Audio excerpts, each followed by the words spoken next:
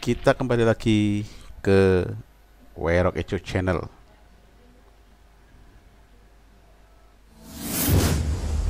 Weragijo.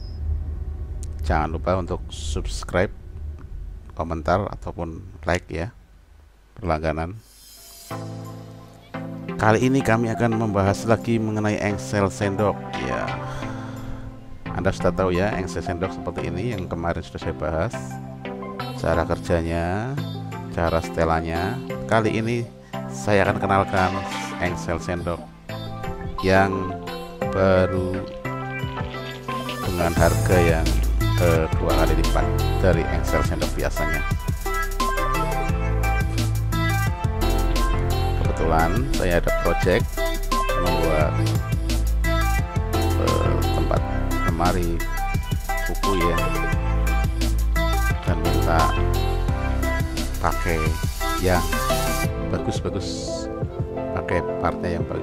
ini. Ini engsel sendok slow motion. Nggak tahu kalau di namanya situ ya. Kita bandingkan antara engsel sendok biasa dan slow motion. Ya kalau dilihat sekilas memang hampir sama karena ini satu merek yaitu Haben perbedaannya pada engsel sendok biasa nah, posisi tangannya dilepas jadi posisi bagian yang nempel di lemari atau kabinet sama di pintu bisa dilepas bautnya juga kendorin dan dilepas mundur yang buat setel maju mundur. Sedangkan untuk engsel sendok slow motion tidak bisa nah, itu posisinya hanya bisa maju mundur saja. Pada saat sudah dipasang kalau yang ini.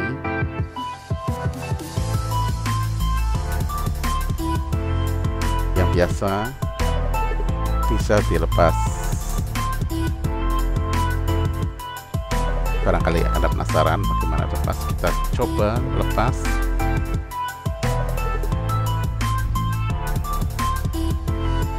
Nah itu perbedaannya ini yang slow motion ini kerjanya kalau kita tekan sedikit saja dia akan menutup sendiri dengan pelan. Nah. jadi kita menutup pintunya itu nggak usah ditutup sampai anu kita tutup sentuh sedikit dia pintu akan tutup dengan pelan. Inilah engsel sendok slow motion kalau yang biasa ya ceplek gitu aja. Kasar ya maksudnya nah itu itu langsung. Karena tidak ada pegasnya pada bagian belakangnya. Beda dengan yang slow motion. Sendok pegas. Nah kita sentuh.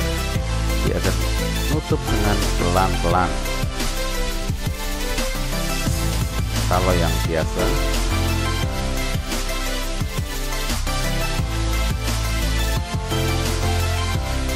Tidak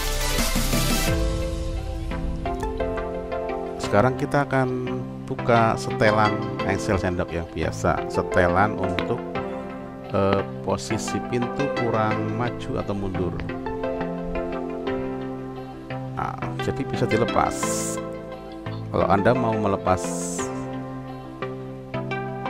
melepas ini apa? Bagian pintu sama bagian yang nempel di kabinetnya bisa langsung dilepas seperti itu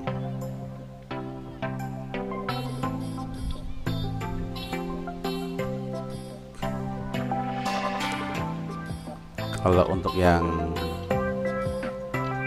nah itu seperti itu. Jadi setel maju mundurnya langsung setel. Sampai kadang lepas bisa ya. Kita pasang lagi. Lihat perbedaannya. Intinya ada eh, itu itu terbuka ya. Kalau yang slow motion itu rapat. Pada ujung yang nempel di kabinet ini tombol-tombolnya sama apa? Baut-bautnya sama.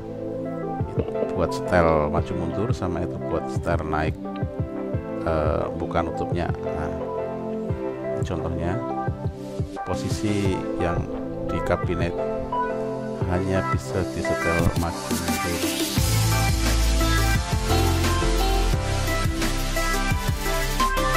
Jadi tidak sampai lepas terus pada bagian sesisi sebaliknya. Nah, kalau yang sel biasa tidak ada apa-apanya kalau yang kemudian ada semacam tumpukan kayak pelat ya. Nah itu ya gunanya untuk menggerakkan engsel secara pelan gerakannya. Jadi kalau kita nutup lemari tidak serasa dibanting. Kita coba lagi yang slow motion. Sentuh sedikit dia akan nutup sendiri. Oke bagus. Ya jadi kalau anda mungkin buat perabotan sendiri anda bisa pilih sesuai yang mana. Nih kalau pengen bagus pakai yang engsel sendok slow motion. Jadi gerakannya lambat. Kita tinggal nyentuh pintunya sedikit saja. Dia akan menutup sendiri. Kalau yang biasa kita sentuh langsung keras tuh. Jadi kalau dipasang biasanya terdengar bunyi blak sekarang kita akan aplikasikan pada kabinet kali ini saya akan buka lemari yang sudah saya pasang pakai engsel sendok biasa. Kita tutup ya. Nah ada suaranya. Dan itu saya nggak dorong itu saya lepas saja itu. Nah itu. Itu. Nah sekarang kita cek. Yang sudah saya buat pada dapur saya dapur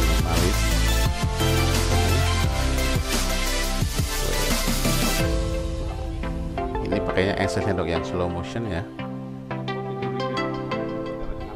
Kita akan tutup. Nah, sudah dilepas saja segitu dia akan tutup sendiri. Hmm. kita coba yang fitur satunya juga. Saya pakai slow motion engsel sendoknya. Kita akan tutup. Sedikit kita sentuh sedikit aja.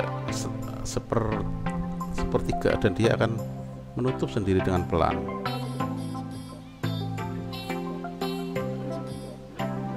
Sebelah sini juga saya pakai yang slow motion. Kita cek kita sentuh sedikit saja dulu. Nah dia akan menutup dengan sendirinya. Kalau yang